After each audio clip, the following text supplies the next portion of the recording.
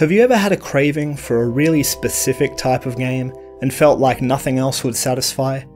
Every so often, I become obsessed with a new roguelike game, and it easily becomes part of my daily schedule. There's something beautifully satisfying to me about slowly building up my skills over a set of discrete runs, which I can easily fit around work and other commitments.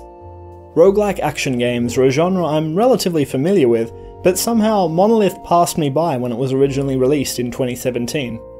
I'm very glad to have discovered it now though, because it definitely deserves a place among the best roguelike bullet hell games of this generation.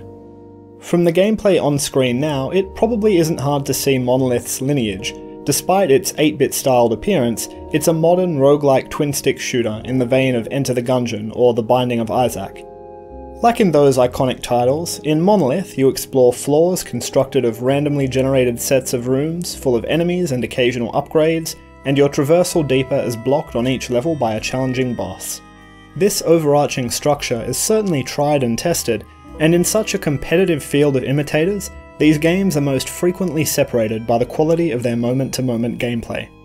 Thankfully, Monolith really nails fundamental game feel and feedback, Weapons have a satisfying sense of impact, enemies and projectiles read clearly, and, whether you're using a keyboard and mouse or a gamepad, controls are responsive and consistent. Beyond this though, I also feel like there's a few areas where Monolith improves on existing standouts of the genre.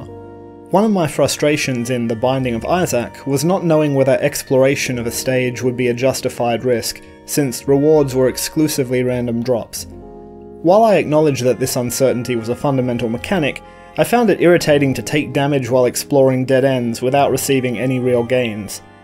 While Monolith still features random loot drops, you receive currency to spend at shops from every enemy you defeat. This helps mitigate the frustration of taking damage in a room that you didn't need to explore. I also really like the unique way Monolith handles weapon upgrades. Rather than there being a massive assortment of unique weapons, as is frequently the norm, there's a relatively small set of weapon types, but with randomly mixed perks and attributes. For instance, all shotgun style weapons shoot a cluster of pellets, and all lasers shoot a continuous solid beam. But some shotguns might shoot homing pellets, some lasers might slow enemies down, you might find perks where bullets penetrate enemies or bounce off walls.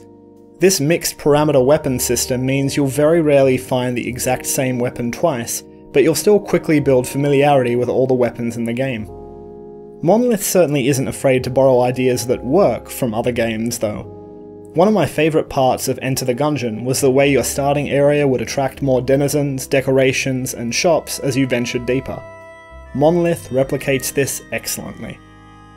While the gameplay is always going to be the most important part of any game like this, it would be remiss of me to not mention the care that's gone into the audio and visual presentation of Monolith. 8-bit styled games are a dime a dozen nowadays, but those art styles are rarely presented with such authenticity and refinement. Backgrounds hint at detail and complexity without interfering with foreground action, subtle animations imbue enemies with character, and the effects used on some bosses are really impressive and striking. There are so many little graphical touches which add to the game's polished presentation. I love the way your ship arcs as it turns, or the way the interface starts glitching out as you get lower on health. And all of the action is propelled by a driving 8-bit soundtrack which would sound at home in the best arcade shooters of the 80s. Considerable thought has been put into maintaining the standard and consistency of Monolith's tone and style. So, if, like me, you've been craving a new shoot 'em up roguelike to sink your teeth into, Monolith comes highly recommended. It's the perfect synthesis of 1980s aesthetics and modern design elegance. Thanks for watching. If this is your first time to my channel, please consider subscribing to see more of these discussions in the future. I also make a whole bunch of covers of video game music, so if that's your thing, you can check that out with the cards on screen now. Take care of yourself and I'll catch you soon.